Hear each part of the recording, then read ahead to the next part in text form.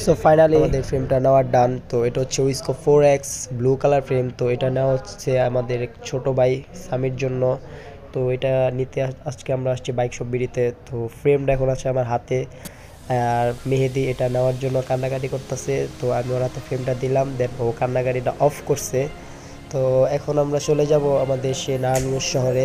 তো আসলে সকালে প্র্যাকটিসে গেছি দেন আমাদের কোনো প্ল্যান ছিল না যে আমরা এই ফ্রেমটা কিনতে আসব। তো হঠাৎ করে চলে আসলাম। siempre aquí nos vemos.